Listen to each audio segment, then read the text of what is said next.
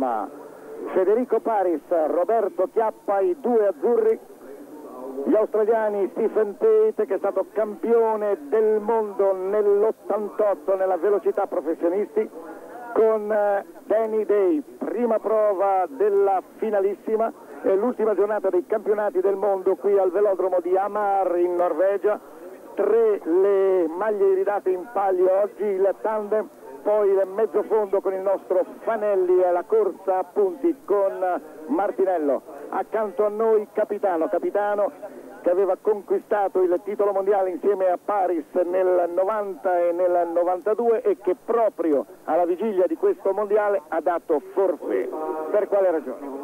Ah, sicuramente perché ero abbastanza stressato sia forse da un lungo collegiale anche da certe situazioni che si sono create all'interno del gruppo. Gli italiani che si sono allenati per la prima volta proprio due giorni fa hanno fatto ottime cose. Ecco qua un primo piano di Pate, Pate che poi è stato squalificato per essere risultato positivo al controllo antidoping dopo due anni. Pate è un uomo forte, esperto, cattivo. Dobbiamo subito dire che gli australiani partono con i favori del pronostico, se non altro per la maggiore esperienza del tandem. È un grosso esperto conoscitore dei regolamenti e corre sempre al limite, Pate, sia sul tandem che nel carrying, dovunque monta, è molto determinato. In prima posizione Paris, Paris che normalmente con capitano correva in seconda, mentre Roberto Chiappa è passato in seconda posizione. Paris che ha un microfonino proprio accanto all'elmetto. A cosa serve? Ci rivolgiamo a Dario Broccardo, coordinatore delle nazionali azzurre. Ma si tratta di un auricolare che è, installata sul, è collegata con un apparecchio ricevente attraverso il quale il tecnico Mario Valentini gli dà eventualmente in caso di necessità qualche consiglio. È stata un po' suggerita dall'esigenza di Paris di trovandosi Chiappa dietro che è molto più grosso di lui di avere un po' di difficoltà a vedere i movimenti del tandem avversario quando si trovasse alle loro spalle. L'Italia è giunta in finale dopo aver ottenuto il miglior tempo assoluto nelle qualificazioni 12.540 nei 250 metri con una media di 71-770 poi nel primo turno ha superato la Grecia e nel secondo la Repubblica Ceca, Repubblica Ceca che ha conquistato la medaglia di bronzo perché la giuria ha squalificato la Germania per volata scorretta appunto contro la Repubblica Ceca. Sono ancora quattro i giri da percorrere, dobbiamo dire che l'andatura è subito notevolissima. Sentiamo capitano. Certo, in questo momento la corsa favorevole è da parte dei nostri azzurri, perché quelli davanti per tenere il ritmo stancheranno certamente di più le gambe che i nostri. A livello tempi gli azzurri hanno dimostrato di essere già perfettamente in sintonia. Naturalmente una tandem, una grande tandem si costruisce con l'esperienza e appunto l'esperienza può far difetto a Paris e a Chiappa. Manca, ecco, saper suonare la campana dell'ultimo giro con gli australiani che hanno sempre tenuto un ritmo elevatissimo, eccoci la campana dell'ultimo giro 250 metri, sempre ecco che inizia la rimonta degli azzurri, prosegue, ecco che gli azzurri iniziano la rimonta, a fianco degli australiani, entrano addirittura in vantaggio, l'Italia in vantaggio 1-0 per l'Italia, l'Italia ha vinto la prima prova della finalissima contro l'Australia, telegrafico, il commento di capitano. Super, sono stati super. Italia-Australia 1-0 nella finalissima della velocità tandem. Responsabilità della caduta.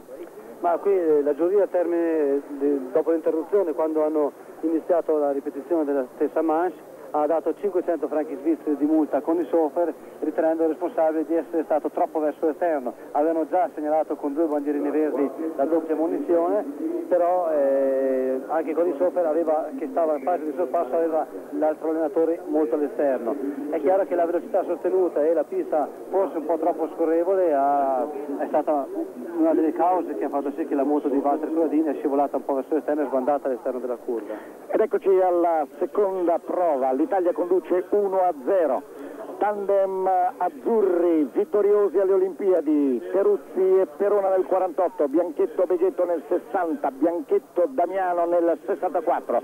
Poi questa specialità è stata tolta dal programma olimpico e ai mondiali le vittorie degli azzurri sono state ad Amsterdam nel 67 con Verzini Gonzato, a Montevideo nel 68 con Gorini Turrini e poi nel 90 Maebashi con Capitano e Paris che hanno bissato l'anno scorso a Valencia una medaglia d'argento nell'87 a Vienna con Faccini Nicotti, 5 pronti con Turini Gorini, Rossi Finamore, Ceci Sella, Faccin Nicotti e Faccin Paris.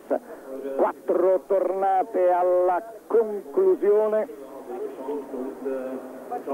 Il tandem azzurro composto da Federico Paris guida con il numero 269 Roberto Chiappa, il 260 gli australiani Stephen Pate, professionista, i due italiani sono entrambi dilettanti, ricordiamo che per la prima volta nella storia dei mondiali mondiali che compiono quest'anno 100 anni, la prima edizione si svolse a Chicago, si gareggia con la formula dell'Open, vale a dire dilettanti e professionisti gareggiano insieme. I due australiani, Stephen Pate è stato campione del mondo della velocità pura nell'88 il suo compagno Day, il numero 72 in seconda posizione, è dilettante.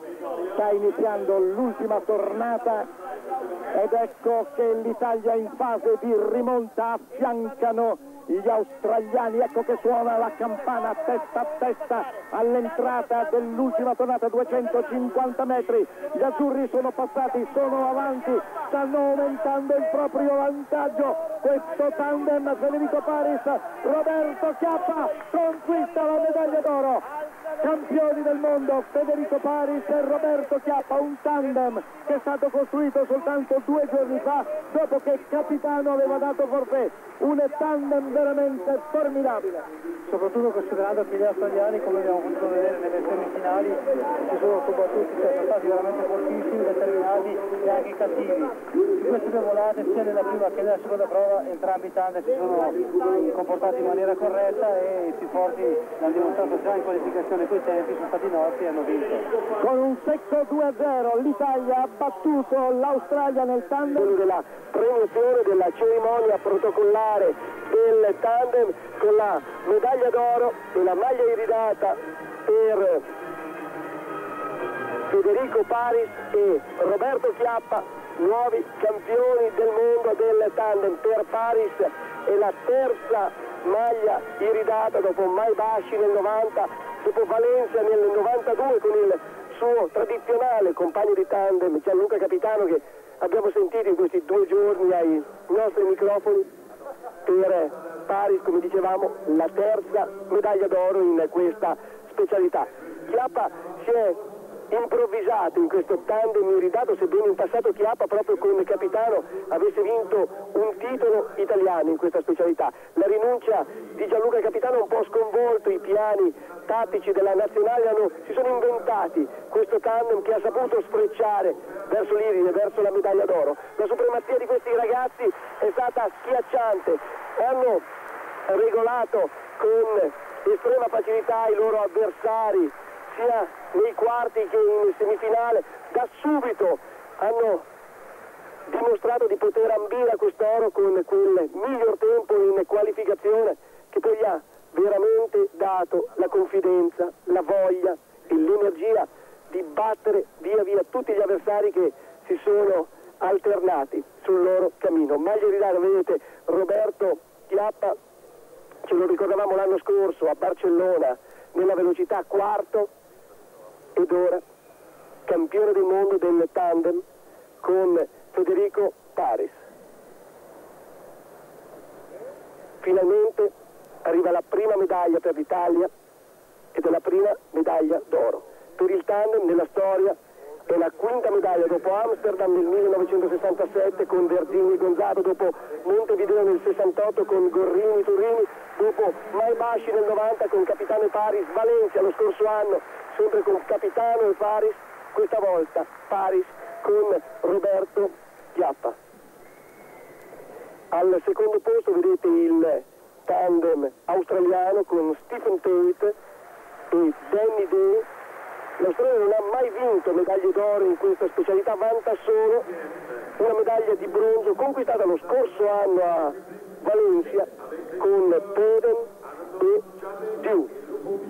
Ed ora eccoci alla premiazione del tandem della Repubblica Ceca, tante cadute in questi giorni, sono caduti sia gli australiani nella gara contro la Germania, sia i nostri, è stata più che altro una scivolata e così per esorcizzare quella caduta Gianluca Capitano proprio ieri ci aveva detto che a noi questo tipo di scivolate porta fortuna. Ebbene, sono riusciti questi due ragazzi, li abbiamo visti nel corso di questa serata, sono riusciti a sfrecciare verso l'oro. La prima medaglia, usualmente la pista ci aveva sempre dato grosse soddisfazioni in questi anni e una pista in questa prima edizione Open che è stata un po' avara di successi per noi. Ci hanno pensato Capitano Chiappa, scusate, e Paris a raddrizzare parzialmente il bilancio della nostra spedizione azzurra. Ed ora in questa cerimonia protocollare per la prima volta. Riusciamo a sentire Lino Di Mameri.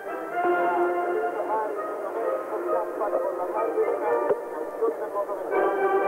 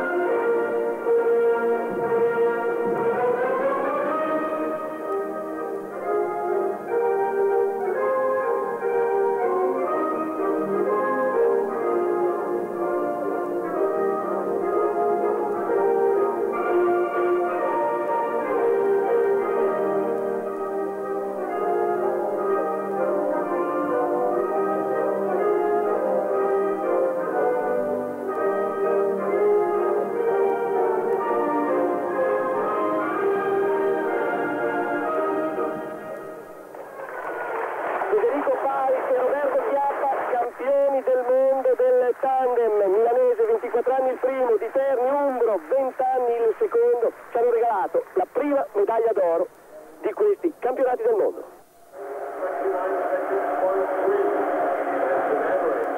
E frattanto si stanno già scaldando le moto per la finale del